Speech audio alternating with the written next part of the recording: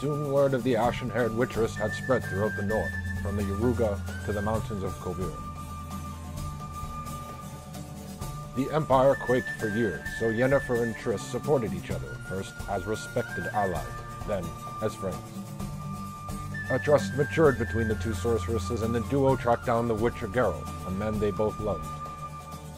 In gentle harmony, their companions ran their inn, that is, when they were not out breaking up witch hunts, harnessing relics, and killing monsters.